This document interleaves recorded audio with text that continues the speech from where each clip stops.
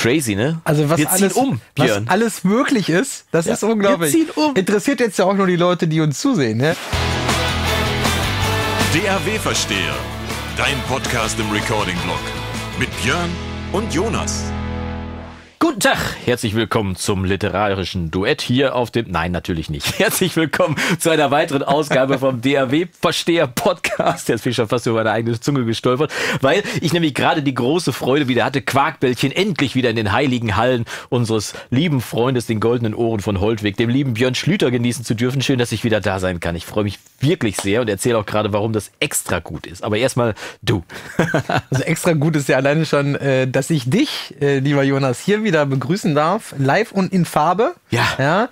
Ähm, mit Kaffee, mit Quarkbällchen und äh, ich hätte es jetzt natürlich eigentlich in die Kamera halten müssen, aber ich habe es unten stehen lassen an der Kaffeemaschine, dem äh, Geschenk, äh, was du letzte Woche schon, äh, nicht letzte Woche, letzte Mal schon in die Kamera gehalten hast. Ja.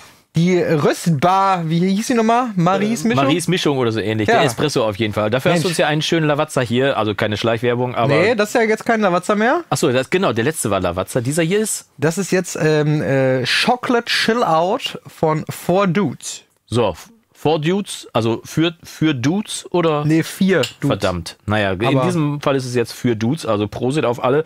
Und äh, tatsächlich ist es ja Hm.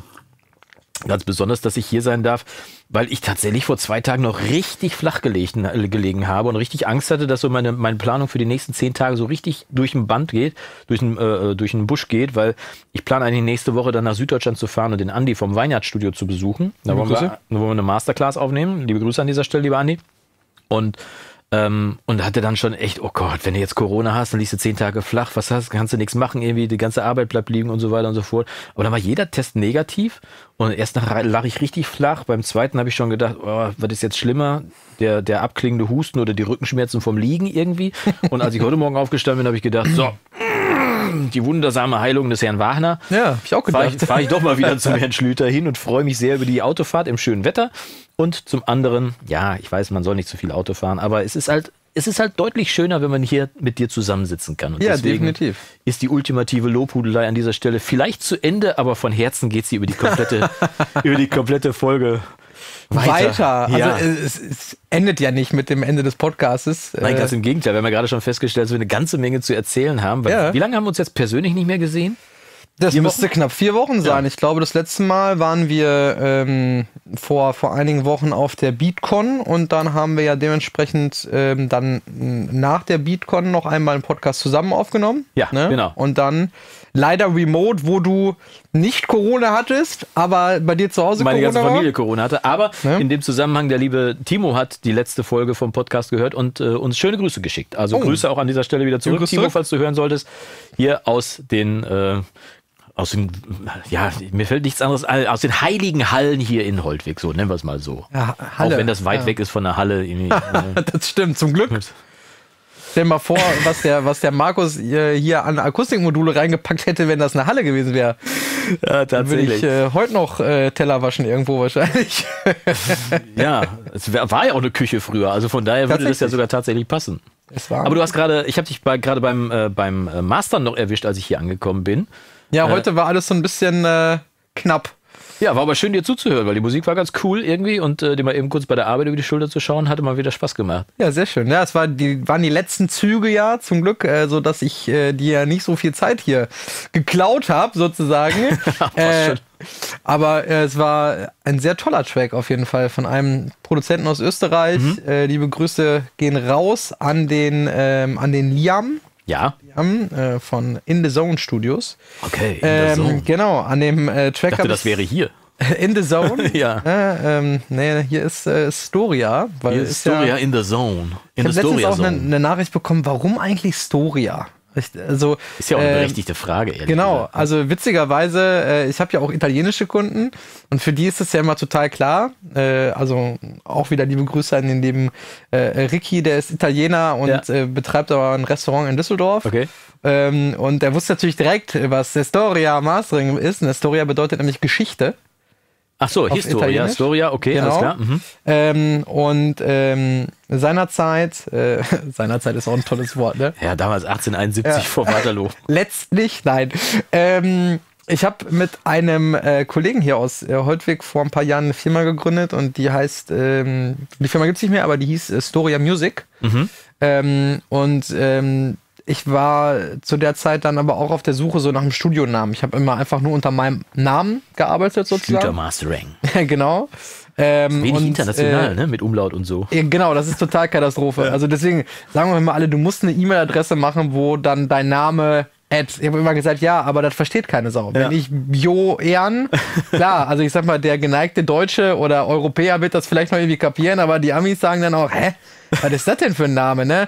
So von wegen, äh, habe ich letztens noch mal wieder gehört, irgendwo in irgendeinem Workshop, so, das ist mal ganz wichtig, so Kundennähe, dass derjenige weiß, mit wem er schreibt, wo ich so denke, bei einem Einzelunternehmen wird es wohl nicht so schwer sein, rauszufinden, ähm, mit wem man schreibt. Und da kann man dann Ja. auch Info at, äh, also wenn ihr mir mal schreiben wollt, Info at Info genau. Aber Björn klingt ja immer so ein bisschen skandinavisch und so ein bisschen. Ne? Weißt du, was der Name bedeutet? Björn? Ja. Nein. Ich habe keine Ahnung, ob das stimmt, aber ich hatte als Kind bei mir im Zimmer, gibt es doch immer so den Namen und dann darunter so zwei Sätze, was der bedeutet angeblich. Ja. Ich habe das noch nie geprüft. Liebe Leute, Okay. überprüft das mal, ob das stimmt. Da Schreib's stand immer der starke Bär. Der starke Bär. Der starke Bär. Das trifft es ja in allen Maßen. In, äh, ja, vor Du allem bist ja quasi so eine Art Papa-Bär. ja, außer Papa zu sein, aber Ja, ansonsten kommt ja noch. so seitlich äh, ausladend äh, kommt das schon manchmal ganz gut hin. Ja. Wir hatten einen Kollegen, der hieß auch Björn, den haben wir immer Burn genannt. B-U-R-N. Mhm. Ist ja vielleicht noch eine passende Abkürzung haben. Burn. Das, äh, vielleicht ja. legst du die die E-Mail-Adresse einfach mal für die Eingeweihten ein. Das kannst du eine Weiterleitung machen an Info, ne? Burn at storiamastering.com. Es gibt ja eine, eine Firma in Düsseldorf sitzen die, ähm, die äh, machen Grills und Grillzubehör und die heißen das passt ja. Finde ich auch mega geil. Ähm, da habe ich auch noch nie zu Ende recherchiert, ob es da wirklich jemanden gibt, der Bernhard heißt, weil das fände ich halt super geil, wenn der Geschäftsführer äh, halt Bernhard heißen würde. Ja. Und er seine Firma halt Bernhard. Also das fände ich fantastisch. Wir haben diesen Björn dann auch tatsächlich später Bernhard genannt, weil Burn war zu kurz und äh, ließ sich nicht gut rufen, aber Bernhard war dann Bernhard. Ähm, aber hier im, im Münsterland gibt es ja tatsächlich äh, eine Historie zu dem Namen Bernhard. Also Bernhard habe ich jetzt gesagt, im münsterländischen Genau. Platt quasi Bernhard. Bernhard, Bernhard, ne? Und Bernhard, dann äh, gab es die Abkürzung von Bernhard ist Natz oder Natze. Und da ging es jetzt darum, meinem Sohn den zweiten Namen zu verpassen. Also Jonathan war schon klar, aber ein zweiter Name. Welcher, welcher Name? Also Man guckt ja immer so bei den Großvätern zu meinem Großvater kam es dann. Und mein Großvater hieß Bernhard. Und mein zweiter Name ist auch Bernhard. Und da habe ich gedacht, naja, Bernhard kannst du jetzt auch nicht machen. Ja, was Cooles muss ja irgendwie dabei sein, weil Bernhard ist jetzt wirklich schnarlahm, irgendwie sonst was Ja. irgendwie, ne? Und dann fiel uns ein, der Spitzname von meinem Opa ist ja Natz. Dann haben wir gesagt, Natz, kann man den Sohn dann wohl Natz nennen? Ich meine, geht das beim, beim Amt durch oder so? Und dann kurz in Münster geguckt. In Münster gibt es den Natz-Tierweg. Also das war ein berühmter Schriftsteller im, im Münsterland. Und gesagt, wenn es da eine Straße gibt, so, also Jonathan Natz bitte. Ja, ja, klar, kein Problem. Also noch nicht mal, noch nicht mal eine Diskussion oder sonst was irgendwie so. Willkommen im Münsterland. So, ja, Jonathan Natz. Ne? Sehr schön. Und äh, ja, das, so kann, kann man auch zu einem Spezialnamen kommen, den nicht jeder hat auf jeden Fall. Und Also- trotzdem eine kleine Reminiszenz an seinen Ur, Urgroßvater. Nee, Urgroßvater. Urgroßvater, so, ja. ja, genau. Mein, mein Spitzname, also ich komme aus dem Sauerland, das wissen mittlerweile vermutlich dann auch alle, so oft wie ich darüber spreche. Ähm, und mein Familienname ist ja Schlüter und da äh, gab es jetzt keine, ähm, keine, also ich sag mal, es gibt ja viele Familiennamen, die eine Bedeutung haben. Also Ja. die aufgrund von Berufen oder von. ja. Wagner ist ja äh, zum Beispiel derjenige, der, glaube ich, den Rahmen, den, das, das Wagenrad gemacht hat. Den Wagner oder der den Wagen Ja, geschlagen kann hat. sein, Ja, genau. Der Wagner. Ähm, und äh, bei Schlüter gibt's das halt nicht. Ne? Ähm, und meine ähm, Familie, beziehungsweise mein Vater und mein Opa väterlicherseits, ähm, die haben den Spitznamen Drovis. Drovis. Drovis. Ich habe das nie hinterfragt als Kind, äh, wenn du irgendwo rumgelaufen bist. Ähm, Rüten, der Ort, wo ich herkomme, ist jetzt auch nicht Ja, groß, eine, ja, kleine, eine Kleinststadt äh, sozusagen. Und da läufst du halt rum, ach, der kleine Drovis. Und ich habe das nie hinterfragt, ähm, bis heute eigentlich noch nicht. Aber was heißt Ähm, das? Weißt du es? Nee, das Problem ist, äh, alle, die ich fragen könnte, äh, gibt's nicht mehr. Also äh, äh, väterlicherseits. Hm. Aber Schlüter klingt doch nach, nach der Schlüter. Das muss doch irgendeiner gewesen sein, der, der mal was gemacht hat irgendwie. Ich muss da nochmal, es gibt doch so, mittlerweile kann man doch ziemlich äh, krass diese, diese Genealogie oder wie das äh, heißt. Genau, so diese- und du kannst ja, auch Ahnenforschung Ja, irgendwie, genau, ja. was weiß ich, äh, übers Internet, glaube ich, sogar irgendwie machen, ne? Gegen Geld kannst du heutzutage natürlich fast alles im Internet machen. Fast alles. Fast alles. Naja, kannst Ja. du zumindest die passenden Termine überall Okay, buchen. vielleicht ist das die Aufgabe für unsere Zuhörer und Oh ja. Zuschauer und vielleicht auch für uns auch, vielleicht fürs nächste Mal herauszukriegen, was, was war denn die Berufsbezeichnung des Schlüters? So, dann Genau. können wir das ja mal ein bisschen herbeiführen. Und äh, ja, musikalisch war es tatsächlich so, dass ich diese Woche, trotzdem ich äh, da niederlag, noch einen Auftrag äh, dringend wegmachen musste. Ich musste noch für einen, äh, für einen Künstler musste ich noch einen, einen Tour-Trailer bauen. Und der Künstler hatte schon was eingesprochen, kam dann relativ kurzfristig und ich habe dann, ich habe dann musste dann immer eine Musik drunter legen. Ja, du weißt ja, was ja, was da am liebsten gefragt ist, ist immer meine Lieblingsaussage. ne? Du, du machst das schon. So, oder ja, welche Musik denn? Welche Musik stellt ihr euch denn vor? Ja, du machst das schon. Ja, toll. Und ich muss dann hinterher, ich schlage dann was vor, nee, aber das gefällt uns nicht. Und dann wieder was an, nee, aber das, nee, so, egal. War aber nicht so. Ähm, habe ich also ins, ins Regal gegriffen, habe irgendwas genommen, was ich schon mal gebaut habe, einen harten Rocksong irgendwie so und war jetzt so und habe den Song genommen, da drunter gepackt und die ganze Zeit packte so die Snare durch.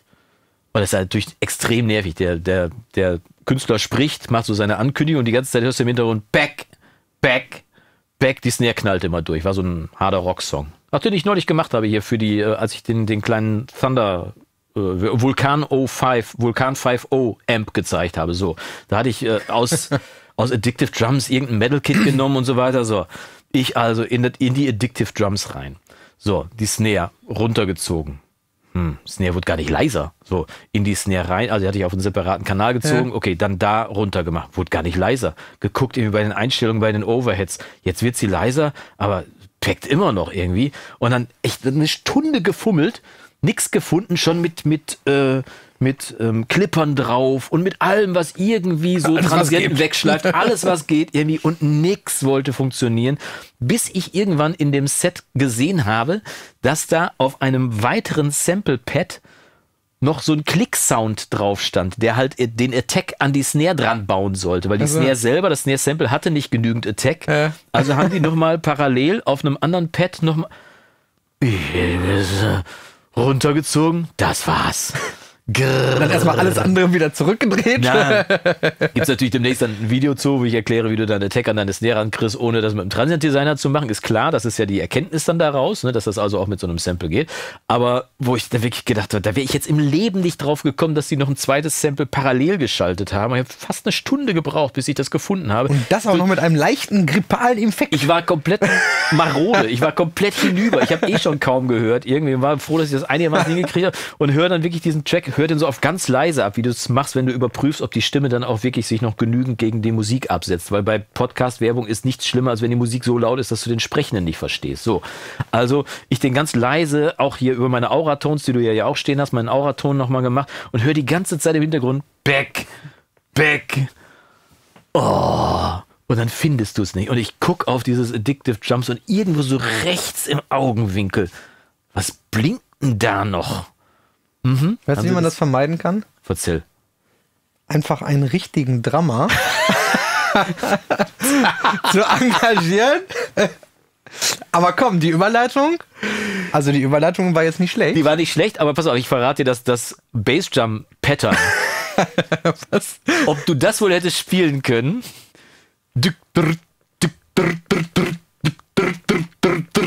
Also war wirklich, ich weiß gar nicht, wie, so man, wie man sowas programmiert. Es gibt Das ja Leute, die Frage das des Editings.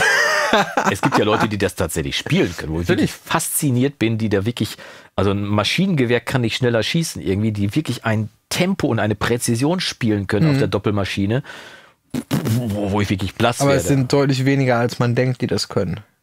wahrscheinlich. Spielen die mit Rebounds dann wahrscheinlich auch, um das, Mhm. Nee. um das doppelt hinkriegen? Oder vierfach hinzukriegen? Ja, du, du spielst, äh, ja, im Prinzip spielst du ja auch Double Strokes auf der Bassdrum oder sowas. Oder wenn ne? du Double Stroke mit, der, mit dem Fuß spielst, für die, die es sehen, sehen meinen Fuß jetzt immer, dann spiele ich äh, spitze, spitze Hacke. Didick kann ich spielen, wenn ich einen Double haben will. Didick, didick, kann ich links und rechts machen. Didick, didick, didick, didick, didick, didick, didick, kann jeden doppelt spielen. Aber ich glaube, in dem Aber warum, wie, wie machst du das denn mit der Hacke? du machst, du, du setzt die Spitze aufs Pedal auf und danach direkt die Hacke. Didick. Hast du nie gespielt? Nee. Jetzt bringe ich dir einen Trick bei am Schlagzeug? Auch nicht. Ich spiele halt Doubles ganz anders, ne? Auf ja, du spielst Bassdrum. wahrscheinlich. Ja, du, du kannst ja wahrscheinlich ganz. Also ich habe das. Also ich ich spiele, das ist die sogenannte, ich weiß gar nicht, ob sie offiziell so heißt, die Slide-Technik, dass du halt auf dem Pedal links und rechts. Also rechts, links. Ja, ja, ganz Ja, genau. genau. Und ich spiele ich spiel das halt, ich habe das dann auch bei mir beobachtet, dass das so ein Mix wurde, ne? Aber die eins weißt du, woran das liegt? Nee. Weil du spielst äh, den Beater ins Fell rein. Ja, Also bu Burying, nee, Burying, wie spricht man es aus? kann er? Begraben, Ja, to bury, ja. Bury, Burying the Beater, ja. genau, so äh, nennt man es ja. Begräbst den Äh, Beater. Mhm. Genau, also ins Fell rein und ich spiele ja ähm, ganz normal äh, mit Rebound. Ja, Also ja, ich ja, stimmt, du lässt das äh, Pedal ja nicht am Fell. Genau. Ganz also genau. Lässt, ja, genau. Naja, ich habe das aber damals, als ich das, das lernen wollte, habe ich bei YouTube ein Video gefunden, wo der Typ dann zeigte, okay, du spielst dann einfach spitze Hacke. Mhm. Also du spielst mit der Spitze den, den, äh, das Pedal und spielst mit der Hacke direkt hinterher. Der Duck kannst du spielen. Geht auch, einwandfrei. Und ich könnte mir vorstellen, dass sie dann dadak, dadak, dadak, dadak, dadak, dadak, dadak. Aber das ans Rollen zu kriegen, ist ja dann schon wirklich und dann in diesem Tempo, das, also wie gesagt, um das abzukürzen, Alles ja wie mit den Händen auch, ne? Also letztendlich Ja, ist alles Übungssache. Übungssache, ja, ja. Also ähm, gibt doch ähm, so Geräte, die sehen aus wie so, wie so Übepads, aber die haben im Prinzip einen Kontaktzähler. Weißt du, worauf ich hinaus will? Also der zählt, also jeden Kontakt. genau, wie oft du tatsächlich dann, weil es ja irgendwann auch schwierig äh, zu trennen, Ja. also du kannst ja irgendwann nicht mehr zählen, mitzählen, ne? wenn du siehst, wie, äh, wie schnell einige dann Doubles spielen können, ne? ähm, dann wird es natürlich schwierig. Und es gibt so, ich weiß gar nicht, ob das richtig Geräte sind oder die dafür auch entwickelt sind, keine Ahnung. Irgendwer wird es bestimmt wissen von Ja. unseren Hörern. Ähm, aber gesehen habe ich das jetzt schon mal häufiger in irgendwelchen Videos. Und da zählt da halt einfach das Ding, okay, wie viele Schläge schaffst du in 60 Sekunden oder in 30 Ich frage Sekunden? mich an der oder Stelle, so, ob man bei solchen Sachen noch mit Slate Trigger zum Beispiel mit so einem Trigger-Plugin arbeiten könnte, weil bei Trigger ist es ja so, dass du so eine Einstellung hast bei dem Plugin, wo du dann sagen kannst, äh, ab wann es ein, ein doppelt gezählter Trigger ist. Ne? Also wenn du, wenn du ein Pedal spielst, dann interpretiert er manchmal dahinter noch so, ein- so einen Phantomschlag. Also kannst du ihm sagen, nach dem Schlag so eine äh, gewisse Latenz, was weiß ich, 100 Millisekunden musst du warten, sonst ist es irgendwie ein Phantomschlag, damit du nur eine Bassdrum hörst und wenn, wenn das Plugin zwei spielen würde oder so. Ne? Aber bei dem Tempo, da liegen ja zwischen den Schlägen vielleicht 10 Millisekunden oder 50 oder maximal oder so. Frage mich, ob man da wohl mit einem Sample arbeiten könnte, aber das, das nur am Rande. Auf jeden Fall habe ich dann diesen, diesen Auftrag noch fertig gemacht irgendwie. Und die Musik ist auch relativ leise hinter den, hinter den Gesang, hinter den, Gesang wollte ich gerade sagen, hinter den, äh, hinter die Sprache gemischt Mhm. irgendwie, weil ich gedacht habe, okay, bei Podcasts ist schon extrem nervig, wenn die Musik so laut ist und du verstehst dann die Absolut. Sprechenden nicht. Und kriegte dann als Feedback zurück, ob ich die Musik noch mal leiser machen kann. Und ich habe schon gedacht, oh Gott, es ist doch schon so leise, das kann ich. Ja, ich überlege noch, was ich mache. Äh, ich mache es einfach ein dB leiser. Also wie, ich, äh, ich würde einfach den alten Trick, äh, die Datei umbenennen in V2 und nochmal rausschicken. Der alte Phantomtrick. So besser? Ja, mega. um Längen besser. Nur den Dateinamen geändert. ja, du, seitdem Nein. ich das mache, äh, habe ich kein Problem mehr mit Revision. Kannst du auch hier nicht verraten. Achso, ja, stimmt. Mensch. Du bist so ein Pro. Apropos, ich brauche gleich glaube ich, nur mal eine Revision von deinem Kaffee hier. Der schmeckt sehr gut. Ähm, wir haben ja, äh, das ist ja das Schöne, wir haben ja heute eine, einen großen Haufen Quarkbällchen aus Sicherheits, Ich habe extra zehn Stück mit. aus Sicherheitsgründen. Ja, ja, ne? ja muss das, man natürlich sagen. man Also, darf auf keinen Fall out of Quarkbällchen fallen. Genau. Ne? Ich denke da an die Quarkbällchenknappheit von 1977. Äh, wer erinnert sich nicht? Die berühmte, ja, Ja. als es das, als es das Quarkbällchen äh, Fahrverbot gab auf Auch orthodoxen sonntags. Autobahnen. Ja, ja, genau. Da durften ja. ja. keine Quarkbällchen mehr gefahren werden. Oh Das war ja Mann, das waren Zeiten. Das waren noch Zeiten. Dagegen geht es uns heute richtig gut. Apropos gut.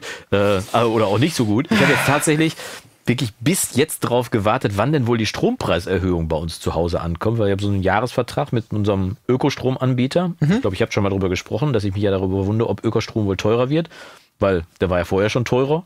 Und äh, warum soll er jetzt noch teurer werden? Weil der kostet ja das gleiche in der Herstellung wie vor einem Jahr, ne? aber der wird ja eben nicht nach dem Herstellungskosten bewertet, sondern nach dem, wie er am Markt gehandelt wird. Und kriegt mir jetzt tatsächlich den Hinweis, So wie leider alles. dass wir ab ja. 1.1. Äh, des nächsten Jahres jetzt mehr zahlen müssen.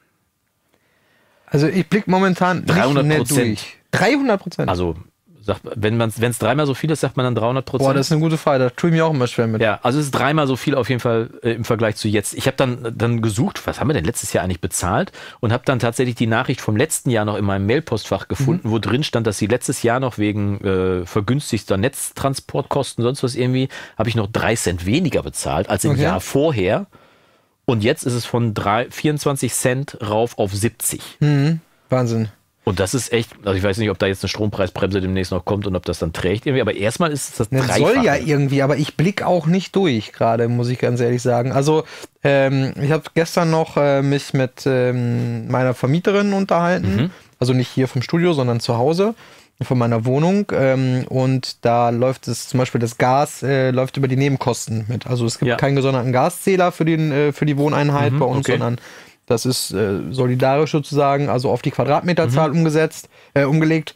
Ähm, und da haben wir jetzt halt auch einfach mal, ähm, weiß ich nicht, äh, was für eine Erhöhung wir da hatten, wie viel, also ja, knapp 170 Euro mehr, glaube ich, im Monat oder Ja. sowas, ne, für uns. Ähm, und das ist jetzt aber ja auch schon wieder obsolet sozusagen, weil es ja jetzt im Dezember äh, der Bund ja die Energiekosten für alle übernehmen wird. Nein, nicht für alle. Ist das nicht mehr für alle? Nein, es ist nur für die Gaskunden. Wir heizen mit Öl. Glaub mal nicht, dass ich meine Heizkosten im Dezember bezahlt bekomme. Aber ist das nicht nur, ist das nicht Heizen und Strom? Nein, Achso, nur, nur das Gas. Nur, nur Gas, genau. Das heißt, du okay. bekommst quasi den Anteil, den du an deinen Gasversorger bezahlen Mhm. würdest, den zahlst du nicht. Das heißt, der Ja, ja, Gasversorger klar. stellt dir die nicht in Rechnung, sondern stellt dir den Bund in Rechnung. Ja, Was ja prinzipiell erstmal okay ist, weil die Beschaffungskosten für Gas sind ja gestiegen. Nur die Leute, die mit Pellets heizen, heizen oder die mit eigenem Strom aus der Solar, Photovoltaik heizen, mit, mit äh, Infrarot zum Beispiel, oder Leute wie ich, die noch mit Öl heizen, was heißt noch mit Öl, die auch mit Öl heizen, haben, unsere Ölheizung ist brandneu eigentlich, ähm, wir kriegen nichts. Das heißt, wir zahlen solidarisch zwar mit über die Steuern, Finde ich aber okay, dass ihr das macht. ja, ne, voll nett von uns. Nein, ne? also Vor allem, dass ich mich nicht darüber beschwere. Wer bin ich denn, dass ich meinen Tank für den dreifachen Preis voll machen musste im Vergleich zu vorher, aber jetzt zumindest über die Gaspreisbremse nicht beteiligt bin? Geschenkt, ich will mich gar nicht ich aufregen. kann mir aber was Positives mir geht's ja gut. Also, Ich kann aber was Positives zum Thema Energie erzählen. jetzt kommt's. Ich habe nämlich äh, schon Angst gehabt. Ich musste nämlich auch meinen Stromzählerstand hier im Studio ablesen. Oha. Ne? Und ähm, da habe ich letztens auch noch eine Nachricht zu bekommen. Ähm, so analog versus digital und so. Ne? Normalerweise gehe ich da gar nicht mehr drauf ein, so, auf ja, diese ja. Nachrichten, wo ich dann Ja, so denke, ja, dann halt äh, bekehr mich jetzt nicht oder brauchst mich nicht bekehren. Beim Sound Ich, ja, ich habe schon, ja. Mhm. ich weiß, dass Plugins auch so klingen und so, ne, alles gut. Äh, will ich gar nicht drüber diskutieren. Aber jetzt kam dann auch. Äh, Das stimmt ja gar nicht. äh, jetzt kam ja dann äh, das Argument ja auch mit den Energiekosten, ne? Weil wenn man jetzt so ein, zwei, ja, fünf, sechs, sieben Geräte dann mehr anhat, ne? Ja. Ähm, ähm, das wäre ja eigentlich auch nicht vertretbar, ne? In einer zu Krisenzeiten. Ja, das stimmt. Ne? Ähm, Prinzipiell. prinzipiell finde ich das super. Ich habe auf jeden Fall meinen Stromzählerstand abgelesen Mhm. letzte Woche und habe gestern Bescheid bekommen. Ähm, ein neues Dokument liegt in ihrem Kundencenter, Mhm. wie auch immer, vor. Und ich hatte schon richtig Angst, weil ich dachte, Oha. ha, Mensch, steht ja dann auch eine Menge Kram rum, ne? Jetzt mit den, äh, gut, die M4 hatte jetzt ja schon über ein Jahr, aber die M's, die ziehen natürlich auch ordentlich Ja, Strom. ja. Ähm, ja, Ende vom Lied, ich krieg 55 Euro wieder. Weil du weniger verbraucht hast. Weil ich weniger verbraucht habe. Woran liegt das? Und jetzt habe ich mir schon eine gute Antwort überlegt an denjenigen, der mir da diese Nachricht geschickt hat. Ja, die hört er aber, ja jetzt, brauchst du ja nicht mehr schicken. äh, aber ich hab's ich, ich werde sie auch nicht schicken. Ja. Ich hätte sie auch nicht Denk geschickt. sie doch laut. Äh, genau, ich erzähle sie jetzt einfach allen lieben Podcast zu hören. Äh, nämlich, ohne die analogen Geräte hätte ich zwar insgesamt in der aktiven Zeit weniger Stromverbrauch, ich hätte aber viel länger gebraucht, Ah, ja. um an das Ergebnis zu kommen. Das heißt, ich hätte am Ende des Tages Strom nachbezahlen müssen, wahrscheinlich. Das wäre ja gar nicht gut gewesen. Ich habe ja tatsächlich ähm, mich auch viel damit auseinandergesetzt, mit Stromsparen und so weiter und so fort. Und letztendlich ist es schon spannend, was man machen kann, was man nicht machen kann, was man technisch machen kann. Vor allem, wir sind ja auch sehr bequeme Menschen und so weiter. Ich habe mich viel mit Heimautomation auseinandergesetzt. Das heißt, bei uns zu Hause wandert so Stück für Stück so Technik ein, die ich automatisieren kann, zum Beispiel von unserer Außenbeleuchtung. Wir haben eine Außenbeleuchtung, die ist halbautomatisch. Das heißt, sie hat draußen so einen Lichtsensor und sobald es draußen dunkel wird, ab einer gewissen Dunkelheit geht draußen die Beleuchtung an. Aber die scheint durchgängig, also die ganze Nacht. Muss sie aber eigentlich gar nicht. Also habe ich jetzt so einen kleinen Shelly heißen die Geräte, das ist so ein kleiner, so ein, so ein Internet of Things Ding, irgendwie, mit dem du Schalter schalten kannst, irgendwie habe ich genommen und habe ich dann äh, reingebaut und habe dem gesagt, pass auf, abends ab 11 Uhr machst du wieder die Außenbeleuchtung aus. Und morgens um fünf machst du sie wieder an, wenn der, äh, wenn der Zeitungsträger kommt, dass er sich nicht auf die Nase legt, Ja. sonst auf der Treppe. So. Das heißt also, jetzt spare ich schon mal durch den kleinen Shelly, den ich dann auch zeitlich programmieren konnte, spare ich jetzt halt zwischen 23 und 5 Uhr sechs Stunden lang Strom und wir haben ein großes Haus, da sind viele Lampen drumherum gebaut, die sind dann aus. Praktisch. So auf jeden Fall. Ne? Top. Und mich dann noch mehr damit auseinandergesetzt und dann im Prinzip aber gelesen, dass die wichtigste Einsparquelle nicht solche Tools sind oder, oder Heizungsregler, die intelligent sind oder sonst was irgendwie, sondern wir und unsere Gewohnheiten. Das heißt, gewöhn dich daran, Sachen auszumachen, die du nicht zu brauchst. Ja. Ne? Das heißt, Licht auch, ne? ja, das heißt, die Standbys ausmachen. Ich habe zum Beispiel bei uns im Wohnzimmer läuft natürlich der Fernseher, der Receiver, die, äh, die Amazon Firebox, der äh, was nicht alles noch, irgendwie läuft Ja. alles im Standby, alles über eine Steckdose. Habe ich jetzt auch eine intelligente Steckdose dran gemacht, die auf jeden Fall entweder von Hand geschaltet werden kann oder die einfach tagsüber von, von 2 Uhr nachts, also ich gehe spätestens um 2 Uhr ins Bett, von 2 Uhr nachts bis morgens um bis mittags um 14 Uhr, wer, wer sollte in der Zeit Fernsehen, äh, einfach keinen Strom liefert. So, das heißt, diese kleine Zwischenschaltsteckdose braucht zwar Strom, aber der Rest ist halt aus. Ne? Sind im Standby trotzdem 12 Watt gewesen. Jetzt kann man sagen, ja, 12 Watt kann man darüber diskutieren oder sonst was irgendwie. Ja, aber ich habe sie alle nur in Standby geschaltet, was ja erstmal eine gute äh, eine gute äh, Vorgehensweise ist, aber letztendlich auch diese 12 Watt immer noch übrig gelassen hat. Ne? Und Ich sehe das auch so. Und, und äh, vor allem auch zum Beispiel Licht ausschalten. Ne? Mhm. Das ist ja auch so etwas, äh, gerade Leute mit, mit größeren Häusern oder größeren Wohnungen ähm, haben das, was heißt Problem, kennen das Szenario überhaupt. Äh, du gehst von einem Raum in den anderen, dann gehst du eben in die Küche, dann holst du da was, dann gehst du wieder. Weg das Licht an. Genau, dann gehst du erstmal dann wieder ins Wäschezimmer, weil du musst ja dann die Wäsche rausholen Mhm. und äh, äh, ach, jetzt habe ich noch was vergessen. So, und ähm, das Argument, ich weiß noch früher, ähm, da hieß dann immer, ja, aber äh, lass die Lampe aber an. Ne? Weil? Nicht immer ausmachen, das ist nicht gut für die Glühbirnen. War es ne? ja auch damals nicht. Genau. Äh, was ja nicht ganz unwahr ist, oh, unwahr ist ein schönes Wort, ähm, was ja nicht ganz falsch ist. Ähm, aber heutzutage mit den das Quatsch. LED-Leuchtmitteln ist Ja. es völliger Quatsch. Unfug, ne? ja. Also natürlich haben die auch äh, beim 724.000. Mal ein- und ausschalten, kann da auch was passieren, kann auch beim siebten Mal passieren. Also jedes, ne? Ge- die größte Gefahr, ein Gerät zu beschädigen, ist tatsächlich beim Ein- und Ausschalten. Ja, Nicht während des genau. Betriebes, sondern beim Ein- und Ausschalten. Aber weißt du, was dem entgegenspricht? Kinder. Schafft die Kinder an. Kinder können vieles, aber so Gewohnheiten kommen erst mit den Jahren. So mit der, mit der, mit der Awareness, dass man auch wirklich so, mit dem, mit der Wahrnehmung, dass man auch wirklich was ändern kann und so weiter. Aber habe ich vielleicht auch schon hier erzählt, wiederhole ich aber trotzdem nochmal. Ich, hab, ich schalte ja bei mir im Studio jetzt sämtliche Boxen ab. Hm, naja, genau. Das sind 200 Watt, das ist die Hälfte des Stroms, den ich brauche. Und ehrlich gesagt habe ich schon fast mit dem Gedanken gespielt, mir jetzt doch noch ein Mac Studio zu kaufen, weil der einfach ganz wenig Strom braucht. Mein Selbstbau Mac ist ein super Gerät, irgendwie, aber der braucht halt 200 Watt, wenn der läuft. Mit Monitor, mit allem und so weiter habe ich noch keine Lampe an im Studio. Das sind 200 Watt. Das heißt, ich gucke jetzt auch schon, dass ich die meisten Arbeiten mit meinem Laptop mache, weil der braucht 12 Watt. Ne, das heißt, Mails, sonst was irgendwie haben wir, glaube ich, schon mal drüber gesprochen, genau. dass du das zu Hause machst und so Richtig, weiter. ja. Ne? Aber das sind halt alles Gewohnheiten, über die man spricht, wo man dann sagt, okay, da kann jeder im Kleinen was machen. Auf jeden und auch Fall. diese beknackten 12 Watt aus meinem, aus meinem Wohnzimmer, Mhm. ne? die bringen extrem viel. Und die Ollen leuchten draußen bei mir an der Hausbeleuchtung auch. Das bringt auch an. Und deswegen bin ich jetzt sehr gespannt. Ich habe jetzt bei der letzten Abrechnung geguckt. Wir haben ein großes Haus und meine Frau und ich arbeiten ja zu Hause. Das heißt, wir haben nicht nur den üblichen Verbrauch für Haushalte, sondern wir haben auch Büroverbrauch zu Hause, weil wir halt auch zu Hause Ja, arbeiten. und ne? Studio, ne? Und dann Lampen und so weiter und so fort. Kram, Ne? ne? Ja, ja, genau. Und äh, meine Frau hat ja eben dieses Nähstudio, in dem sie halt den Leuten das Nähen beibringt Mhm. und da halt auch extrem viel Videos aufnimmt. Also auch Lampen an und so weiter. Und ähm, deswegen haben wir einen Jahresverbrauch gehabt von 7000 Kilowattstunden, glaube ich. Ich glaube, ein Haushalt mit vier Personen braucht normalerweise 4000 Kilowattstunden. Jetzt würde ich die 3000 Kilowattstunden mal darauf schieben, dass wir auch zu Hause arbeiten. Ne? Ja. So als relevant. Aber jetzt bin ich mal sehr gespannt mit der Umstellung meiner Gewohnheiten und der grundsätzlichen Gewohnheiten zu, dafür zu sorgen, okay, alles klar, wir schalten einfach überall das Licht aus, wo es nicht gebraucht wird. Und bei meinem Sohn kommt dann halt eine, so, auch so eine Automatiksperre rein, ne, wenn der in seinem, aus dem Kinderzimmer rausgeht äh, und dann vergisst das Licht auszuschalten, dann geht es halt nach einer halben Stunde automatisch aus. Bupp. So, ne?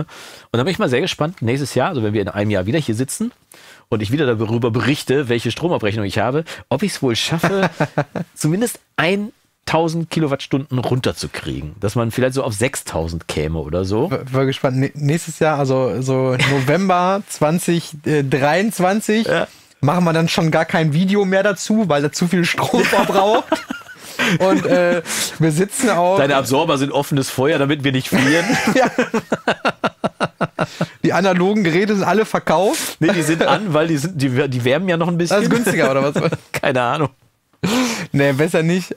Also tatsächlich, ähm, so, so wärmend äh, sind die alle gar nicht, meine, meine Gerätschaften hier. Das wärmendste Gerät ist der, äh, ist der DA-Konverter davon, Solar, ähm, der Crane Song Solaris. Das ist mhm. tatsächlich, weiß nicht, was da drin alles passiert. Da müsste man den, äh, wie heißt der, David Hill, glaube ich, müsste man mal fragen. Aber der wird so warm, das ist unglaublich. Aber selbst die Röhrengeräte werden nicht so warm. Ja, da fällt mir ein, dass du, dass ich, ich sehe gerade den Coniq, den du da stehen hast, den habe ich ja bei mir zu Hause auch noch stehen. Mhm. Ich benutze den zwar nicht, aber ich habe den da noch stehen, weil ich den eigentlich mal zur Raumkorrektur benutzen wollte, die ja dann Neumann eingebaut hat in den Subwoofer. Und dann habe ich keinen Grund mehr gesehen dafür, den noch zu bauen, falls jemand einen Coniq braucht mit Lizenz zum Einmessen bei mir melden. Aber ähm, der ist, lohnt sich auf jeden Fall. Aber das Problem ist, das ist halt, das ist nicht Sonarworks, ne? Das ist halt ich bin ja mit der, mit der Neumann-Einmessung komplett zufrieden. Also das machen wir uns nichts vor. Ne? Ich, ich persönlich für meinen Anwendungsbereich würde jetzt, also es wäre schon fantastisch, wenn da noch mehr ginge, also noch deutlich mehr ginge, aber ich glaube, dass der Unterschied zwischen Coniq und dem Neumann eher marginal wäre. Kommt halt, kommt halt auf die Veränderung an, die du machst. Ne? Also wenn du jetzt in einer Raumkorrektur ähm, keine Ahnung, äh, 6, 7, 10 dB Kurven da mit einem EQ irgendwie reindrehst. Mhm. Das ist ja Genauso wie im Mixing oder im Mastering oder, oder was auch immer. Wir reden immer über so viele Sachen. Ähm, ist ja genau das Gleiche. Wenn du da, wenn du jetzt ein Mastering, Plugin, EQ, äh, du musst den kaufen, damit alles gut klingt, nimmst ja. für 400 Euro und drehst 1 dB bei 10 Kilohertz High Shelf rein. Ja. Und du nimmst jetzt dein äh, Stock EQ oder ein Fettfilter oder was weiß ich und machst auch einen Shelf bei 10 Kilohertz und drehst ein dB rein, dann ist der Unterschied zwischen diesen beiden Veränderungen vermutlich kleiner, als wenn du jetzt mit jeweils einen halben Meter zur Seite genommen Ja, oder, oder wenn du mit den gleichen Equalizern jeweils 5 dB reindrehst oder so. Ja, ja. Dann, weil, also ich, ich sage jetzt mal, der, da, da ist der Unterschied vermutlich größer. Und so ist es ja, wenn du jetzt so eine Raumkorrektur nimmst, auch. Wenn du jetzt irgendwie, guck mal, mein Conic der ist sowas von unterfordert hier. Ähm, ja, also, weil dein Studio halt top ist, ne? Ja, gut, aber der, ich sag mal, als ich die Neumänner noch hatte, da waren da auch, war da auch zwischendurch eine ganz schön wilde Kurve mal mhm, drin in mhm. der, in der Raumkurve. Was heißt eine wilde Kurve auch nicht, aber da war schon mal äh, ein ziemlich äh, starker Bassboost drin und sowas alles. Mittlerweile sind da, glaube ich, zwei Bänder aktiv, mhm. die irgendwie im Bellfilter jeweils 0,8 dB oder so rausnehmen irgendwo. So ja? gut für den Raum. Also ist ja, Alles spricht gut. auf jeden Fall für die Arbeit des Raumakustikers hier. Für die Arbeit vom Lee Markus. Ja. Genau. Ähm, aber ich schätze, wenn, das könnte man vermutlich auch mit, mit Sonarworks sogar machen oder so. Weiß ich nicht. Wobei, ne, stimmt nicht. Sonarworks finde ich richtig kacke. Ja, ich stelle mir halt die Frage, guck mal, der Coniq, den ich gekauft habe, ist ja quasi das baugleiche Gerät zu deinem. Ne? Mhm. Aber der wird ja schon sehr lange gebaut. Also ich habe mhm. nicht den Eindruck, dass der, dass der verändert wurde in den letzten 20 Jahren, weil bei meinem steht noch 1900 irgendwas davor. Nee. Naja, ist aber das gleiche Gerät. Also wenn ich den verkaufen würde, würde. Hast du ja noch den 2 Pro? Müsste, ja, ich das ist ja, ja APEQ 2 Pro und ich glaube, es gibt aber auch ohne 2, ne? Müsste ich jetzt mal nachgucken. äh, aber mein Gedanke war halt nur, die Technik vom Coniq ist halt jetzt auch 20 Jahre hinter der Technik, die in meinem Subwoofer drin steckt. Ne? Unabhängig davon, ich will jetzt gar nicht besser oder schlechter reden oder so, ich will nur sagen, dass ich damit zufrieden bin. Wo ich eigentlich hin wollte, war, dass diese Woche Neumann neue Boxen rausgebracht hat. Ja, K150, ne? K150 und ich wusste sie gar nicht so richtig einzuordnen. Ich habe sie nur kurz in einem, in einem Nebenbericht gesehen ja. und habe gedacht, warte mal, 150, 310, 120, 80, 150. Hast du, hast du eine Idee, hab, was das sind? Ich habe äh, hab nur irgendwie beim, bei Instagram oder irgendwo habe ich das nur gesehen. Ja. Äh, aber ich habe nicht bisher nicht genauer damit. Okay. Ähm, so ein Bass-Reflex-System ist, glaube ich, eine 120 ein größer, also wahrscheinlich dann äh, ein größerer, vielleicht mhm. der große Treiber aus der, aus der 300er oder sonst was irgendwie oder irgendwas dazwischen so. Soll ja so ein Ding zwischen den 120er und den 300er oder 310ern sein. Aber ähm, dann halt mit Bassreflex. Ich habe mich ja bei mir explizit gegen Bassreflex entschieden, weil ich finde, dass das immer ein bisschen unkontrolliert klingt irgendwie. Und äh, vor allem in so einem Raum, der nicht zu 100% optimiert ist, dass ich gedacht mhm. habe, nee, dann nimm lieber geschlossene Gehäuse. Mein Subwoofer ist geschlossen, meine K310 sind geschlossen, dass die einfach insgesamt ein bisschen kontrollierter klingen können bei mir im Raum. Ja, ähm, aber um vielleicht nochmal auf, äh, auf eine Mastering-Umgebung zu kommen, ich habe, äh, ich mache jetzt mal so einen richtig großen Twist. Ich hab, Okay. Ich habe für die, für die Spuren des Monats, diesen Monat, den Mix der Spur. Ich mache ja jeden Monat in den Spuren des Monats vom Premium-Bereich, mache ich ja selber einen Mix. Ja. Oder ich präsentiere den Mix von demjenigen, der den Song gemischt hat. Ne, Das ist also bei den Spuren von äh, Jan Löchel zum Beispiel gewesen. Da haben wir einen Mix aus einem Studio aus Hamburg gehabt und haben, äh, erst habe ich den erforscht, irgendwie drei Stunden lang vor der Kamera und alles erzählt, was sie da gemacht haben. Und dann habe ich das mit Jan nochmal zusammen gemacht. Und ich finde es immer ganz spannend, mal auf Mixe von anderen Leuten zu gucken einfach. Ne? Wir machen das jetzt, wenn ich nächste Woche dann zum Andi von Weinert fahre für die, für die Masterclass, nehmen wir seinen Mix als Referenz, gucken und zeigen, wie er mischt Den und so habe ich weiter. übrigens gemastert, den Mix. Hat er mir verraten. Ich habe ihm gesagt, wir wollen aber die ungemasterte Version nehmen. So. Aber ähm, um das nochmal runterzubrechen, ich habe diesen Mix dann halt und habe dann gedacht, hm, ja, das ist auch ein Song vom Andy übrigens. Äh, jetzt nochmal Gruß an der Stelle und vielen Dank auch an der Stelle. ähm, der Song ist cool, der klingt so ein bisschen wie, äh, wie Dido. So, ne? Und dann gedacht, ja, misch ich den, jetzt sind nur 18 Spuren. Hm. Und dann habe ich bei Fiverr einfach mal geguckt, ob es wohl jemanden gibt, der das Ding mischt für vertretbares Geld. Aber vertretbares Geld ist entweder 15 Euro oder 1500 Euro gewesen. Und ich habe dann tatsächlich einen Mischer aus Norwegen gefunden. Und erst habe ich überlegt, ob ich das wohl für ein YouTube-Video nehme, so nach dem Motto, I hired a, a Fiverr Mixer, Äh, what did he do? So ungefähr, genau. ne? Und kriegte den Mix dann zurück. Geiler Clickbait-Titel. ja, ja, genau, sowas irgendwie. Und äh, habe den Mix dann zurückgekriegt und den weitgehend für gut befunden tatsächlich. War sehr spannend reinzugucken. Das ist so eine Vocal Chain. Und, und extrem. Achso, er hat dir das gesamte Projekt dann geschickt, oder? Naja, ich habe dann noch ein bisschen Geld draufgelegt und er hat mir dann das komplette Projekt geschickt. So, also insgesamt habe ich noch ein bisschen mehr bezahlt für den Mix, so, aber es war immer noch mehr als vertretbar, also absolut, ne? Ähm, dann in seine Automation reingeguckt, 0,1 Prozent, also nur eine leichte Anhebung bei den Vocals am Schluss, das war's irgendwie. Aber insgesamt fand ich das schon sehr, fand ich den Ansatz halt interessant, weil er vor allem bei den Drums extrem viel mit Clippern gearbeitet hat und das ganze Ding auch echt laut war. Und worauf ich aber hinaus wollte, war, also die Leute, die im Premium-Bereich sind, können sich auf diesen Mix auf jeden Fall freuen. Ich werde den aufdröseln und werde dann noch zeigen in einem weiteren Kapitel, was ich geändert habe im Nachgang. Ich habe den Mix dann nochmal genommen und dann noch meine Anpassungen gemacht, ne? dass es dann mein Mix quasi mehr oder weniger gewesen ist. Und habe dann aber auf dem Schluss, auf dem Masterbus, war Ozone drauf. Äh, zum, zum Mastering in Anführungszeichen, zum Lautmachen so. Und ich habe mich noch nie mit Ozone auseinandergesetzt. Ehrlich gesagt. Ich habe das, ich habe Neutron, benutze es nicht. Ich habe Ozone, benutze das Einzige, was ich von Isotope benutze, ist die RX, das RX-Bundle. So, ne, zum Reparieren, zum Mal auf die klicken. Maus, die klicken, was auch immer, ne? Also RX wirklich ein sensationelles Wie Paket. Sie hören, hören Sie keine Schmatzer. Ja. Jetzt vielleicht. Mal gucken, ob Maus die Klick das auch wegkriegt. Wenn du nichts hörst und sich nur mein Mund bewegt bei YouTube, weißt du, was Maus die Klick war. ähm, aber ich habe es noch nie benutzt und dann habe ich mir tatsächlich mal ein, ein, ein Isotope äh, äh, Video angeguckt und habe geguckt, wie, wie mastert man denn eigentlich mit Ozone? Und das war, das war wirklich faszinierend, was er da. Der, Typ, der, der drückte irgendwie auf Mastering-Assistent. Genau. Dann machte der noch drei Plugins rein. Eins für äh, Bass-Focus, also im Prinzip Monomaker. Äh, dann ein Exciter. Also Das stimmt nicht. Low-End Focus ist kein Monomaker. Nee, was, was ist? Dann erzähl was, was Mono äh, Bass-Focus ist. Äh, Low-End Focus heißt das. Oder äh, Low-End Plugin. Focus, ja, genau. Genau. Mhm. Beziehungsweise das Modul äh, ist es ja, äh, gibt es aber auch als einzelnes Plugin. Und da hast du ähm, die Chance, ähm, eine Grenzfrequenz zu bestimmen. Mhm. Das heißt, äh, du hast äh, im Prinzip einfach nur so ein, so Spectral Analyzer da und dann sagst du, keine Ahnung, 150 Hertz, kannst dir auch jederzeit solo den Bereich unten anhören. Mhm. Ähm, man könnte meinen, dass man, das sieht so ein bisschen aus wie der Imager auch von Ozone Ja, okay. der ja, Ja. ein Monomaker sein kann auch, Ja. also Stereomaker oder Monomaker. Ähm, und dann ist es so, du hast einen Regler, der nennt sich äh, Kontrast, glaube ich, wenn mich nicht alles täuscht. Weil jetzt habe ich natürlich den Mund vollgenommen, ohne das Plugin zu sehen. Ich könnte es mal aufmachen und mir angucken. Nee. Muss jetzt aus dem Ähm, Kopf. nee, ich wollte, ja, ich Die weiß, Zuhörer ich weiß können jetzt es ja auch nicht sehen. Ich weiß jetzt nicht alle Regler, aber es ist so, dass du da einstellen kannst, dass du, ähm, ich sage jetzt mal, mehr Punch hast. Beispiel, typisches Beispiel Stimmt, dafür. genau. Da gab Punch und und äh, Und Smooth, glaube und ich. Smooth, hast- genau, ja genau. Heißt, äh, Anwendungsszenario 1 ist, äh, du bekommst ja, also ich bekomme jetzt einen Mix Mhm. äh, fürs Mastering. Der E-Bass oder generell der tonale Bass ist jetzt sehr flächig, äh, äh, sehr sustain-mäßig Mhm. Ja. ne? äh, und sehr laut. Ja. Und die Bassdrum ist sehr leise. Ja.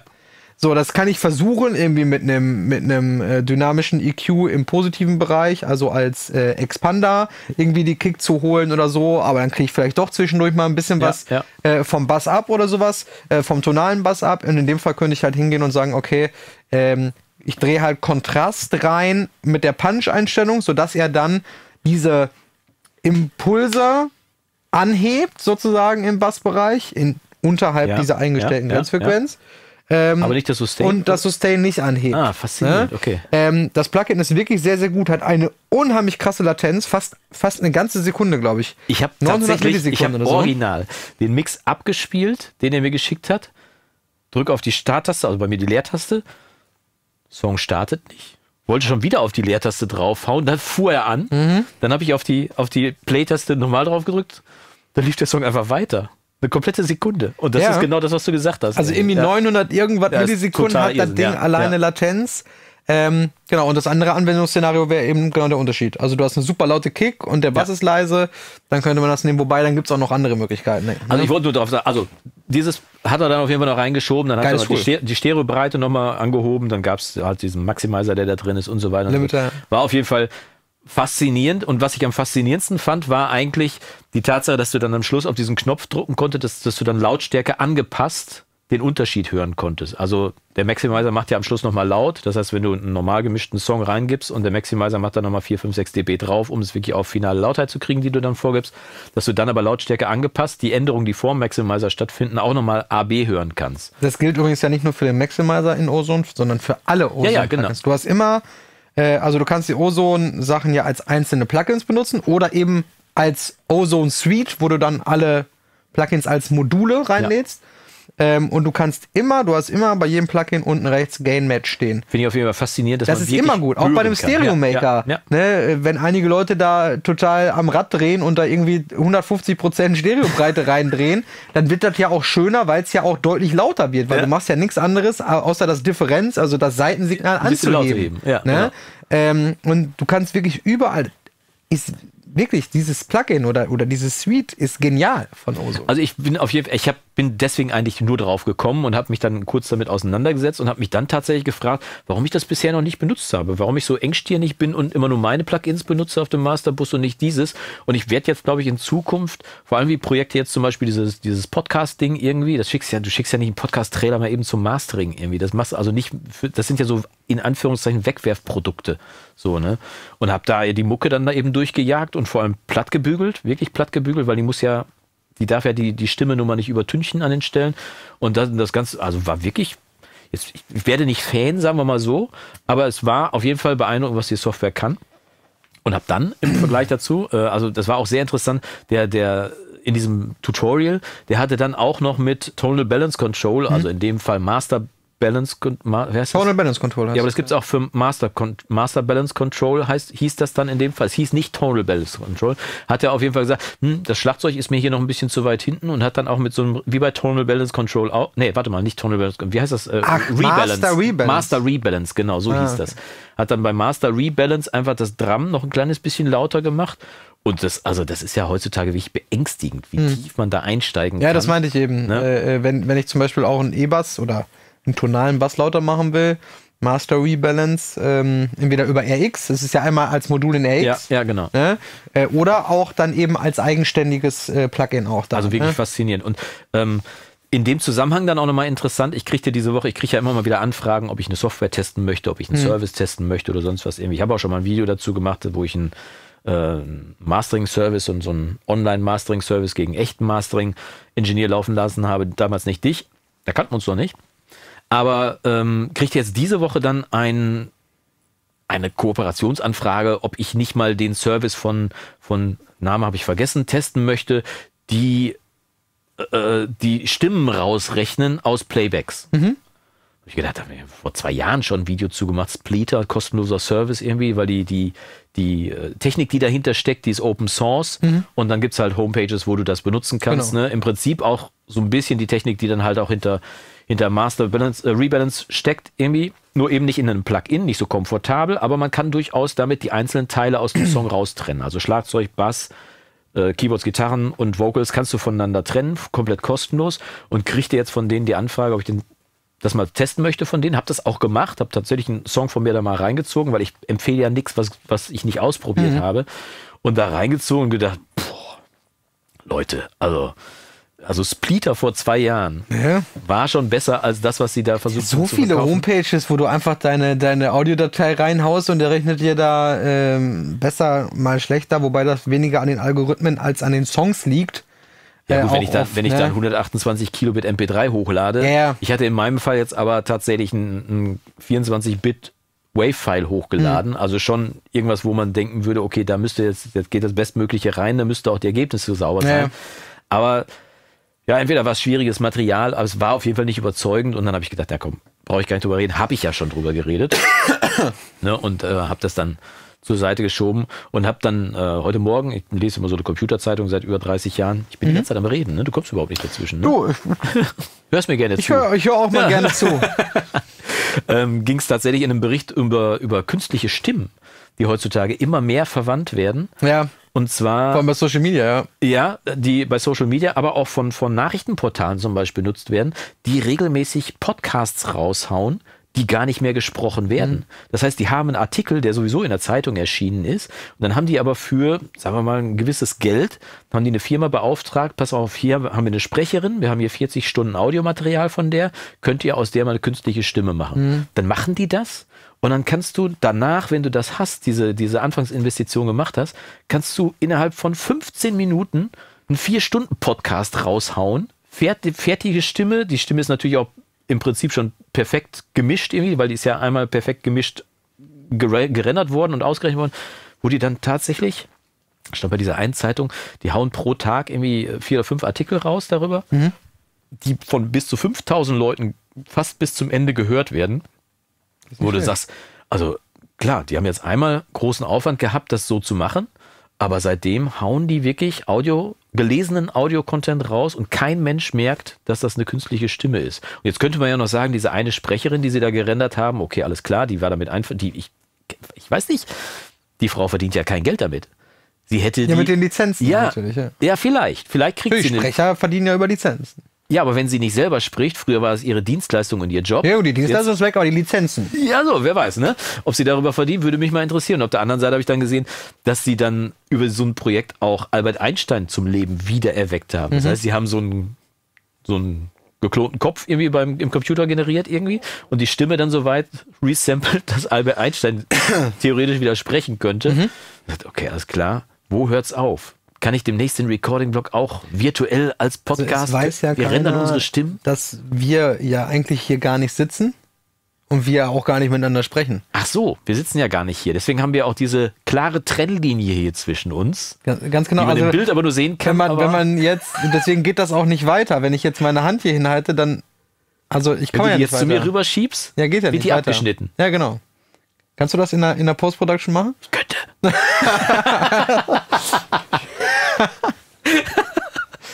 Nee, aber äh, ja klar, diese, diese computergenerierten Stimmen oder, oder AI, äh, wie auch immer man das nennen möchte, äh, das ist schon ein großes Ding und es wird doch immer besser werden. Ne? Ja.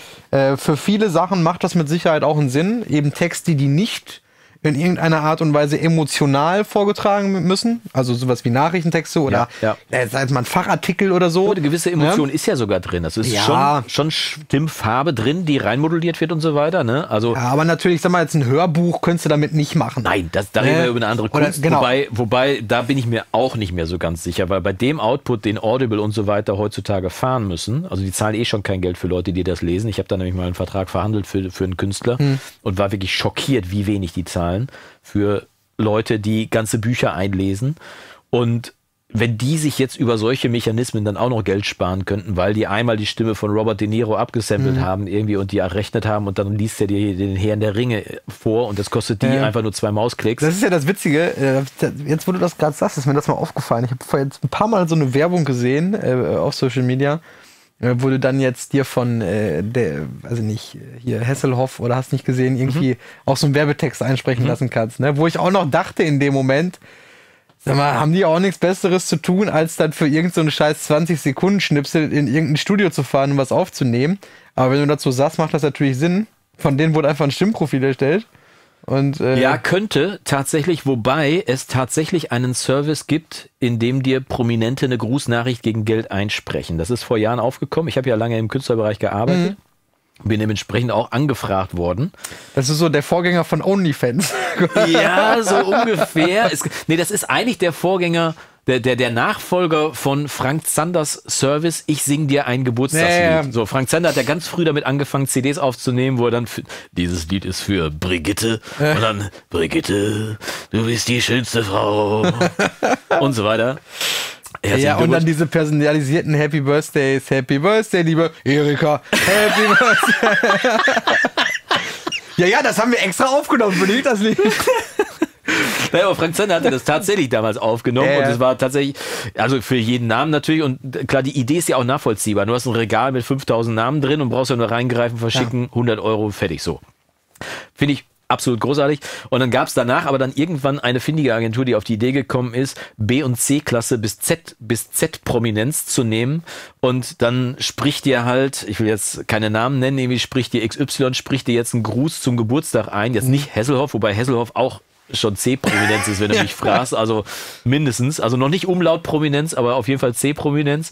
Und ähm, und da wurden dann in dieser Agentur, ja, da wurden halt Leute zusammengeholt, Schauspieler, die man schon lange nicht mehr gesehen hat, die man aber früher mal mochte und so weiter, die sich dann da halt ein kleines Nebenbrot verdienen können, was ja okay ist, weil angesichts der Tatsache, dass es x tausend arbeitslose Schauspieler in Deutschland gibt, die alle gerne genauso spiel, viel spielen würden wie der Bergdoktor, tun sie aber nicht, weil da immer gleich besetzt wird. Also klar, bei der Rolle des Bergdoktors nachvollziehbar, aber du siehst ja auch im Umfeld immer die gleichen Schauspieler ähm, gibt's gibt's halt, die müssen halt gucken, wo die bleiben und wo sie wo sie was verdienen. Ne? Und ähm, der Künstler zum Beispiel, der der äh, die Check 24 Werbung aktuell macht, weißt du, wie der heißt? Äh, wie meinst du jetzt der? Das ist so einer mit einem Bart, der sitzt hinter so einem Ja. Schreibtisch irgendwie und dann erzählt er immer hier, die Werbung wird dir von Check 24 präsentiert. nee, ich kenne nur den Schlagzeuger äh, aus der Check 24 Werbung. Okay. Na, den Künstler haben wir damals entdeckt äh, mit unserer Agentur und ich habe das erste Intro für sein, für sein äh, erstes Live-Programm geschrieben, tatsächlich. Und dann ging es aber irgendwann nicht mehr, weil der Markt mit Comedians ist auch extrem voll und ähm, dann kamen verschiedene andere Dinge dazu. Auf jeden Fall ging für ihn die Rakete eben nicht so ab wie Ja. für einige andere, wie es auch im Musikbereich so ist. Ne? Du hast am Anfang einen guten Einstieg und dann geht halt die Rakete irgendwie nicht ab. Und du hast aber dein komplettes Leben schon darauf eingestellt. Natürlich nimmst du dann jeden Strohhalm will ich jetzt gar nicht sagen, weil es ja eine hohe Präsenz, der wird da sicherlich genügend Geld drüber verdienen. Aber als Stand-Upper braucht er ja quasi auch nicht mehr auf die Bühne gehen, ne? weil es- dann wollen die auf jeden Fall, was willst du davon so einem noch, äh, was erwartest du da, einen Schreibtisch und eine blaue Check 24 Wand dahinter? Oder was, eher so? Ja, keine Ja, Ahnung. ne? äh, finde ich gut. Also ist der Teufel mit dem Belzebub austreiben quasi. Ja. Ne? Wobei, äh, Teufel mit dem Belzebub, ich habe gestern, ich höre nicht auf zu reden, ne? ich habe gestern nee, Abend, ich merke das, ich komme gleich dazwischen. ja, wunderbar, ich habe gestern Abend Sträter gesehen, Thorsten Sträter. So, jetzt sind wir beim Thema mit Jetzt- äh, Marc-Uwe Kling. Ja, genau. Ja. Haben wir zusammen gesehen, also quasi parallel zueinander. Nee, leider nicht. Ich habe nur gesehen, dass Marc-Uwe Kling äh, zu Besuch war. Ich kannte den gar nicht. nee. Nee. Ist, also die Känguru-Chroniken sind, äh, sind per se an mir vorbeigegangen, weil ich die Idee so beknackt fand. Das hat man nicht meine Freundin hören. Die ist nämlich äh, allergrößter Fan. ja, ich habe ich hab die, ich hab die Scheibenweltromane gelesen. Da bin ich vielleicht ein bisschen zu alt für die Känguru-Chroniken. Kann durchaus sein. Ähm, könnte ich deiner Freundin aber empfehlen, auf jeden Fall. Ähm, die Scheibenweltromane. Und kannte ihn aber jetzt nicht. Und jetzt saß er aber da und erzählte, also ich habe die, die Känguru-Chroniken geschrieben oder er erzählte Sträter und so weiter. Und dann merkte ich aber schon, der Bursche hat auf jeden Fall Humor. Den hat er auf jeden Fall und hat vielleicht einen Ball an den Kopf gekriegt und Ja, ist erfolgreich Musiker geworden. ist, ne? auf, Ja, ist er ja auch, ja. Ehemaliger Musiker, genau wie so viele Komiker. Kleinkünstler. Ja, ja. Auf jeden Fall hat er, ich, ich, ich gönne ja jedem seinen Erfolg, finde ich super. Ja. Ne? Ich finde äh, find auch Gregs Tagebuch super, die Idee und was nicht alles, also Kinderbücher. Ach so. Äh, das erste Buch hieß äh, Gregs Tagebuch von Idioten umzingelt. Und dann so Strichmännchen gezeichnet, ganz berühmt geworden danach. Also Okay. wirklich mega. Äh, Ich glaube, die erfolgreichste Buchserie nach, nach oder vor Harry Potter, korrigiere mich. Ja. Auf jeden Fall Marc-Uwe Kling. Und dann haben die halt aus einem von seinen Kinderbüchern zum Thema Aufklärung, äh, musst du dir unbedingt angucken und jeder, der uns zuhört, auf jeden Fall auch angucken. Also Sträter, ARD Marc-Uwe Mediathek. Kling, ARD Mediathek angucken. Äh, und dann lesen, lesen die beiden aus diesem Buch vor. Und ich bin echt schwer zu kriegen, was, was Lachen angeht. Also wenn, mich musste wirklich schon richtig überraschen, aber die beiden haben das so gut gemacht. Das war wirklich so lustig. Und auch das war so absurd beknackt, was da drin stand, Ja. dass ich gesagt habe, okay, den Typen mag ich. Und der er erzählte halt auch, dass er im ersten Film, dass er da das Drehbuch geschrieben hat. Und im zweiten Film hat er dann Regie geführt. Und dann kam die Frage, und? Wie war das so? Er sagte, es ist halt ein Unterschied, ob du schreibst irgendwie Känguru betritt Flughafen oder du musst dafür sorgen, dass das Känguru den Flughafen betritt. Und die ganze Organisation drumherum. Wie fange ich das ein und wie sieht das aus und was nicht alles. Und alles, was, was ein Regisseur halt ableisten muss und so weiter. Und der hat, also er hat es nicht gesagt, aber ich glaube, er hat unterschätzt das, was ein, die Aufgabe, die ein Regisseur, außer zu sagen, wie es geht, Action. übernehmen muss. Also ich muss sagen, ich habe beide Filme gesehen, tatsächlich. ja, Ähm, finde gut. Der zweite ähm, Känguru-Film äh, ist, läuft, glaube ich, noch im Kino. Also wir waren äh, vor, weiß ich nicht, drei, vier Wochen, Mhm. habe ich ihn, glaube ich, gesehen im Kino in Ahaus. Einen kleinen, schnuckeligen, wir waren nie in so einem schnuckeligen Kino. Ja? Also, weiß ich nicht, 50 Sitze? Okay. 60 vielleicht? Also, ich habe noch nie in so einem kleinen Kinosaal gesessen. Musst du mal bei mir zu Hause vorbeikommen. Ich so Da kleinen freue ich mich drauf, aber da hast du mich ja bisher noch nicht reingelassen. Oh. Ähm, so, auf jeden Fall, ähm, wo waren wir? Ah ja, genau, Känguru-Film. Ähm, dass das jetzt, das sind natürlich keine, keine Hollywood-Filme. Also Ja. das ist natürlich, äh, die Banalität des Inhalts spiegelt sich natürlich auch so ein bisschen in der Qualität wieder. Das, ist ja, ne, das sind jetzt keine 150 Milliarden Euro Produktion. Ja. Ähm, aber irgendwie gut gemacht. So, der erste Teil war irgendwie, ähm, fand ich total charmant. Ich fand den, also jeder Filmkritiker würde wahrscheinlich sagen, das ist eine Katastrophe. aber ich fand den halt total charmant. So. Ähm, einfach witzig, leicht zur Unterhaltung, ganz ja. cool Macht nichts kaputt. halt so mit diesen typischen spitzenpolitischen Aussagen, ne, irgendwie äh, erste Regel des Boxclubs, ne, wenn man einen Nazi sieht, muss man ihn boxen und solche Sachen. Aber das finde ich ja alles gut. Ja. So, äh, so und der zweite Teil, äh, ich muss ganz ehrlich sagen, ich saß im Kino und habe die ganze Zeit so gedacht, ne, irgendwie, nee, irgendwie nicht. Also ich, schade. Also der zweite weil, Teil meinst du? Ja, ja, genau. Ähm, und Ja, vielleicht selbst- war die Geschichte nach dem ersten erzählt. ja, also selbst meine Freundin als totaler Fa äh, Fan äh, irgendwie von, von allen Büchern und alle Hörbücher und rauf und runter. Gesagt so, ja, irgendwie manchmal so ein bisschen, bisschen drüber einfach auch, ne, so ge vers- zu gewollt, Ja, ja. so und so ein bisschen diesen, diesen, ähm, ja, diesen Charme des, des, des DIYs so ein bisschen, so dieses, DIY stimmt ja nicht, da ist auch ein riesen Produktionsteam dahinter und so, aber, ne, ähm, so ein bisschen verloren und halt zu statisch alles gemacht, Ja, ne. ja. Ähm, aber Marc-Uwe Kling ist auf jeden Fall ein sehr interessanter Typ. Also Musiker tatsächlich, Sänger, äh, auch die, Mhm. okay. die Filmmusiken sind ja auch von ihm zum Okay, Großteil. cool. Sänger, Gitarrist. Ähm, und äh, er spielt sich ja dann auch da selber teilweise. Okay. Also nee, spielt genau, spielt sich eben nicht selber, sondern spielt den Gitarristen einer abgehalfterten Coverband Also sich selber. äh, quasi, die dann da auf irgendeiner politischen Veranstaltung da auf der Bühne Ja. steht. Ja, also ich kenne ganz viele Leute äh, oder vermutlich 90 Prozent meines Freundes und Bekanntenkreises würden sagen, was ist das für ein Quatsch? Kann ich mir nicht Ich kann, ich kann dir erklären, warum ich, warum ich das nicht geguckt habe, weil ich habe ich, ich hab das ja durchaus mitgekriegt, dass es erfolgreich ist. Und mir ist das, während du erzählt hast, gerade eingefallen, warum. Ich bin ja im Comedy-Bereich seit 30 Jahren. Das klingt jetzt so wie Opa erzählt vom Krieg. Ne? Aber die Tatsache, dass ich seitdem nicht nur vorher schon viele Witze kannte und viele Gags kannte, sondern seitdem wirklich jeden einzelnen verpiepsten Gag mitbekommen habe und Gags ja wirklich auf 15 Meter Entfernung rieche, 15 Kilometer Entfernung rieche, ja, manchmal überrasche ich dich schon. ja, war aber tatsächlich schuldig, Ja. dass ich, also auf der einen Seite, ich habe dann einen Trailer gesehen von, von dem Känguru und fand erstmal die Situation, oder ich habe das, glaube ich, im Deutschlandfunk gehört, dass es jetzt gerade kommt und fand die Situation so unglaublich konstruiert, dass ich, also das, das war für mich nicht absurd, das war einfach nur konstruiert. Ich brauche irgendwie eine absurde Situation. Ein Känguru zieht bei, jedem, zieht bei einem Typen ein und ist radikal, so äh, in seinen Ansichten. So fand ich, ja, Ja, genau. hat mich persönlich nicht abgeholt. So und dann habe ich aber die ersten drei, vier, fünf Gags gehört und die kannte ich alle, weil die hatten alle schon so einen Bart. Jetzt kann man sagen, Generation du, ihr kanntet die Gags nicht oder euch waren sie nicht so geläufig. Ich bin mit denen aufgewachsen. Das heißt, der hat mir in den ersten fünf Minuten keine neuen Gags erzählt, mich weder überrascht, noch ganz im Gegenteil, hat mich gelangweilt. Das ist mir übrigens bei äh, Zärtlichkeit mit Freunden auch passiert, als ich die mal gesehen habe. Kennst du gar nicht, ne? Nee. Zärtlichkeit mit Freunden ist so ein Duo, die auf der Bühne stehen. ähm, der eine ist so ein abgefahrener Trommler, hat so eine komische Perücke auf. Der Gitarrist ist so ein eher desinteressierter und die unterhalten sich zwischendurch so, als wenn das Publikum nicht da, gar nicht da wäre Okay. und so weiter. Und da, die haben uns damals angeguckt und fanden die sehr spannend im Prinzip, weil alle die gehypt haben und mich dahin. Ich bin in der ersten halben Stunde eingeschlafen tatsächlich, weil ich die Gags alle kannte. Die waren mir alle zu, ne, also das klingt, wie gesagt, Opa erzählt vom Krieg und ich will es auch gar nicht kleinreden. Ich will es nur darauf schieben, deswegen hat es mich nicht interessiert. Ja, ne? es ist halt, äh, hat dann nicht nur damit zu tun, äh, klar, Gags kennen oder, oder auch generell Sachen kennen. Gibt ja auch Leute, die gucken sich zum 500. Mal irgendeinen Film an, den sie mitsprechen können. Den sie mögen. So, ja, ne, ja, den sie mögen. Ja. Ähm, ich glaube, das ist ja auch viel, wenn man damit zu tun hat. Das ist ja wie bei uns auch mit Musik. Ähm, kannst du dich hinsetzen und wirklich machst dir, keine Ahnung, irgendeinen Song an oder eine Platte, setzt sie ins Wohnzimmer, gar nicht ins Studio, irgendwo hin, kannst einfach nur Musik hören. Wie lange kannst du das? Ein Song, einen Ich, ich halben? ziehe mal die Verbindung zu dem Ganzen. Ähm, ich rieche die Gags auf 15 Kilometer gegen den Wind, Hm. weil es gibt insgesamt, glaube ich, laut Lehrbuch gibt es sieben Gags.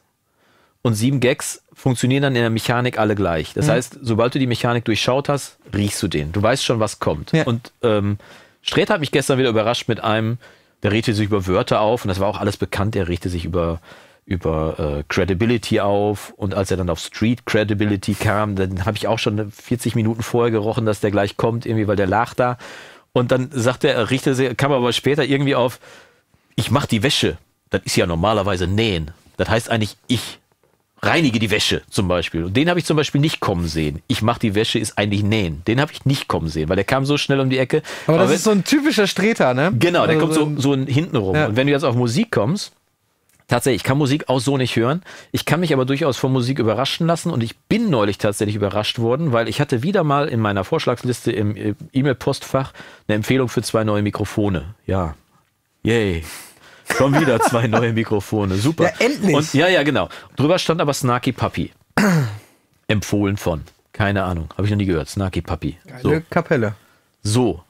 Bin ich also bei YouTube rein, hab Snarky Puppy eingegeben und da hat mich dann was überrascht. Und die gehen gerade richtig durch die Decke, ne? Und da hab ich was Verwalter. absolut abgeholt, weil, sagen wir mal, der Maß, da- das Maß an Überraschungen war auf jeden Fall deutlich höher als bei vieler anderer Musik. Ich habe Mhm. auf jeden Fall da gesessen und habe zum ersten Mal seit langem wieder meine Anlage genossen und einfach nur genossen, denen bei der Arbeit zuzugucken. Mhm. Allein die Tatsache, dass da zwei Schlagzeuger nebeneinander sitzen, die sich, die eben nicht gleichzeitig spielen, sondern sich abwechseln.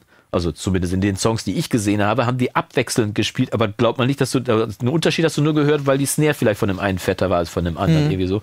Die spielen teilweise auch gleichzeitig tatsächlich, ja? Ich finde ja sowieso faszinierend, wenn zwei Schlagzeuger Ja. gleichzeitig spielen und es nach einem klingt irgendwie. Aber äh, die Band war der, der mega Burner. Ich hatte nämlich kurz vorher eine andere Band entdeckt, die hießen ähnlich und ich habe den Namen vergessen, den muss ich beim nächsten Mal liefern. Die hatten auf jeden Fall ein Cover von, von einem Bee Gees Song gemacht.